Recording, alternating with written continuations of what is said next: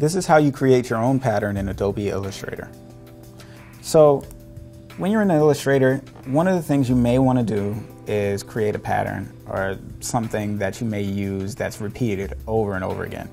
And the purpose of which might be for if you're creating wallpaper, some people create patterns for print, uh, if it's for apparel, they use it for many different reasons. Now, just a basic setup, let's say we have this grid of squares.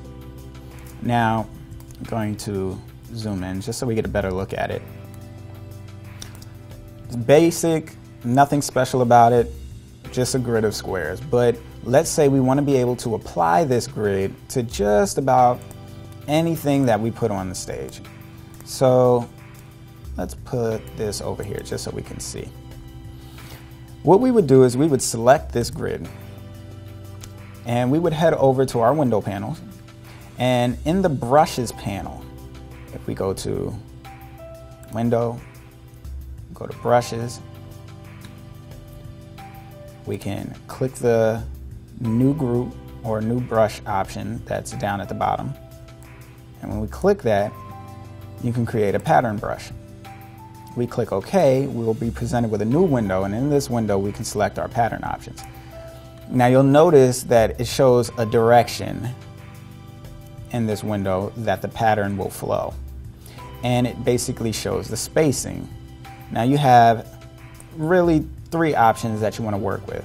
You have stretch to fit, add space to fit, and approximate path. And if you look closely in the window, when you click on these, you'll see how it adjusts. Right now, it's taking this square and it's stretching it so that it fits the exact shape of this path. If you add space, what it'll do is if the square is not exactly a square fully in its orientation or whatever the shape is, it will add space so that it fits better to the actual path of the pattern. And then approximate path is when the actual computer itself will guess the distance that's needed for the path itself. And then you can click OK. Let's go to stretch to fit. We click OK. If we were to, let's say, select our pen tool, we were to click here, click here, click here, and let's say this was a stroke, and we were to look in our brushes window, you'll notice that the pattern is now in this window. If we were to click it, we now have a pattern that's along that stroke. You'll also notice that if you were to go to Window, click Pattern Options,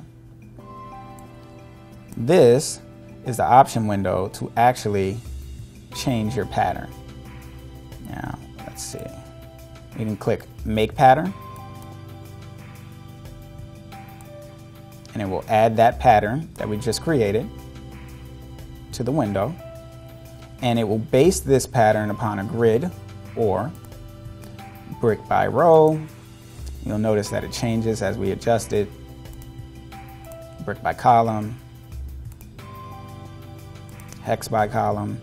There are different options. You can change the width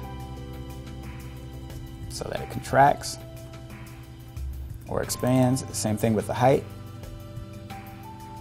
And then you can size the tile so that it scales to the actual artwork. You can move the tile with the art you can do any of these things with it. It gives you a whole array of options. You just got to fool around with it. And once you fool around with it, you become more familiar with it. Uh, you can change how the copies are laid out.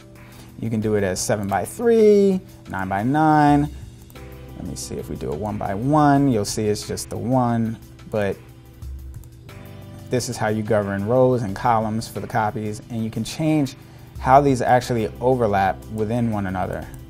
So you just play around with these options in your pattern options. And that's how you create your own pattern in Adobe Illustrator.